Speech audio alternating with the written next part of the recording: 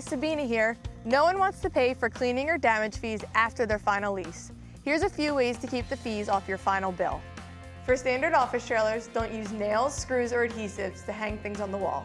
It's best to use push pins. Put down doormats and chair mats to protect the floor. Mop and vacuum or sweep the floors. Don't use any fasteners on the exterior that penetrate the siding. Make sure water does not pool underneath the building. This can cause moisture damage and jeopardize structural integrity. Disconnect electrical, plumbing, and any other utility connections. Make sure there is at least six feet of clear space on all sides of the trailer, plus enough room for the truck to back into the hitch.